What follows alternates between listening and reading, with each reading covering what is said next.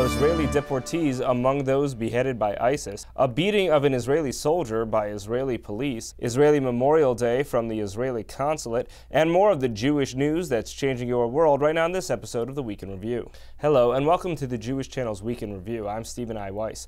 Three Christians beheaded by ISIS had reportedly been seeking refuge in Israel but were deported instead. A recent video from ISIS showed the execution of a number of Christians in Libya, and three of them had previously found their way to Israel after seeking refuge from harm in Eritrea and Sudan.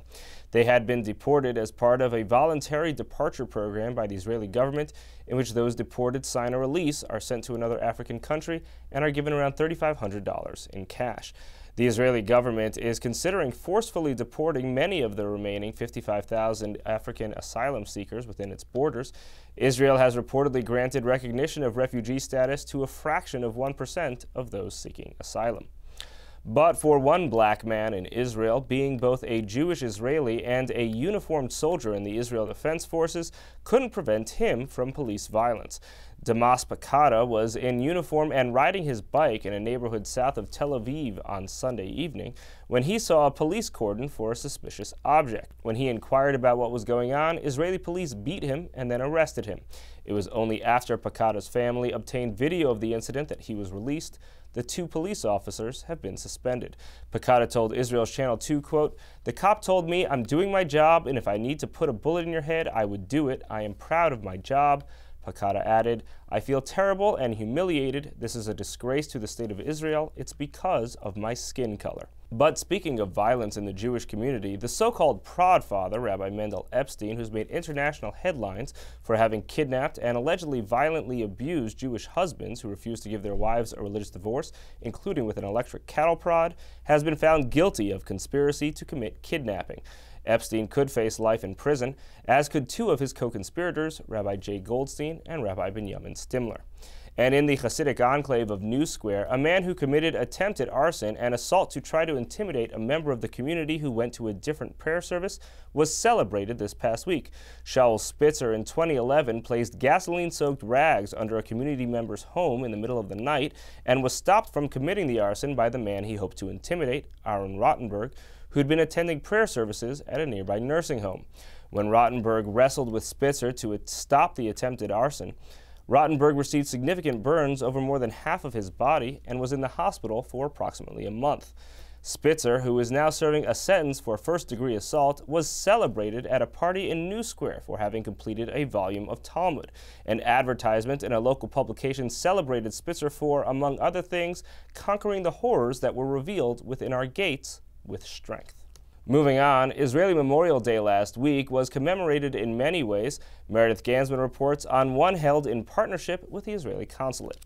Last week, Israeli diplomats, family members, and musicians gathered to honor fallen IDF soldiers and victims of terrorism at a program for Yom HaZikaron. Israel's Memorial Day at the 92nd Street Y. The holiday falls between Holocaust Remembrance Day and Israel's 67th Independence Day and is an emotionally charged time for the country, Ambassador Ido Aharoni said. This 10 day annual cycle serves as an eternal reminder to the duality of Jewish and Israeli history and present. It's the close proximity between the holidays which makes the time so sentimental, the ambassador said. You're going from grief and sorrow to jubilation and celebration overnight, and that's not easy. Very few people uh, will tell you that it's an easy thing to do. Ambassador Aharoni recounted just how many people Israel has lost defending its borders and security.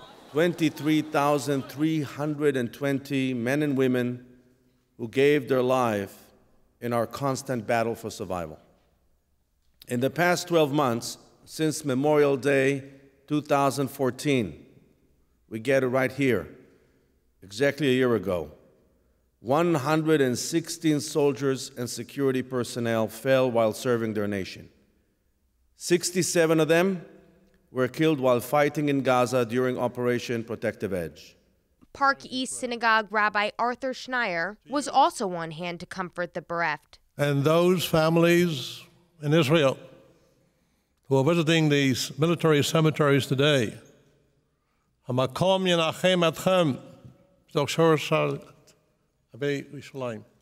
Israeli native and now New Yorker Perry Hyman remembered his own father, who he lost during service and never met. I met him through stories and through pictures, obviously. Mm-hmm. Um, but I guess people telling me that um, we have the same, um, as far as spiritual connection to people and behavior in a way of how we used to treat other people. Um, and basically, it's it's it's it's it's hard to, to, to you know it's hard for more from Yom HaZikaron, Israel's Memorial Day, tune into the full broadcast version of the Week in Review. Thank you, Meredith. Finally, this week on Up Close, women's advancement is a major goal for many, and we're now seeing a new generation of women as CEOs of at least a few of America's largest companies, exemplifying two very different approaches to getting to the top of the corporate ladder at two companies that are quite different from each other are GM's Mary Barra and Yahoo's Marissa Mayer. Barra's story is told by Bloomberg News reporter at large Laura Colby in Road to Power, how GM's Mary Barra shattered the glass ceiling, and then Silicon Valley's most prominent female CEO is profiled by Business Insider's Nicholas Carlson in Marissa Mayer and the Fight to Save Yahoo.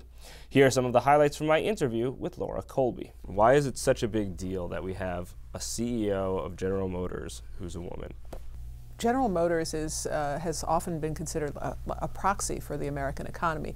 I don't know if that is still the case these days, but um, having a, a, woman lead a company like that that has such a long and rich history is, is really a barrier breaking thing as opposed to a, a smaller company, a more entrepreneurial company. This is a big uh, pillar of corporate America. And you broadly, you cover a lot of issues relating to women in the workplace, women in corporate America.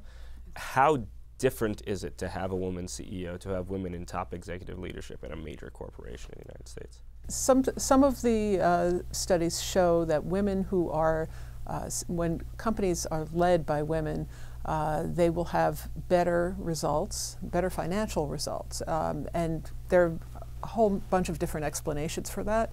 Uh, but one of the biggest ones is that they tend to avoid the sort of groupthink that you get when you have a, an all male boardroom, an all male CEO suite. So, how, how did she get there? It, it seems it was. It's not, it's not the most straightforward path, and it's something that involved really changing GM's corporate culture. Yeah, well, that's um, that's what intrigued me about doing and made me want to do this book in the first place. How did she get there? Um, and it really is one of the great sort of American success stories, if, if you will, because she's, a lot of times you'll see um, women who succeed, they may have had sort of a leg up some way or another. Maybe they're uh, by birth or by, you know, connections or something like that. But she's really, um, she's a working class, comes from a working class family. Her father was a die maker at GM, so she didn't come from a wealthy family. She didn't come from a very highly educated family. Her parents didn't go to college. Um, and so she really, uh, she pulled herself up on her own bootstraps through smarts, through working hard, and very importantly, for the company having uh, a whole suite of programs and, and um, metrics about getting women into the management ranks. To the degree that she, uh, that she was able to, to get herself to the top and, and, and use all these various resources and systems and, and support and to help get her there, were there various points where it seemed like she was being treated differently as a woman? She wouldn't call it this discrimination, but you know, working as an 18-year-old, 19-year-old in the factory, there were there was a lot of uh, you know sexual harassment. Um, there were people you know whistling when you walked into the factory. It wasn't just her; it was you know any young woman who was who was embarking on that career. So that must have been uh, uh, pretty tough. I don't think she got actual special treatment for being female, going up through the through the ranks. I think really what she got is sort of the ability to be treated the way a talented man would be treated. And that was a big, that was a big breakthrough.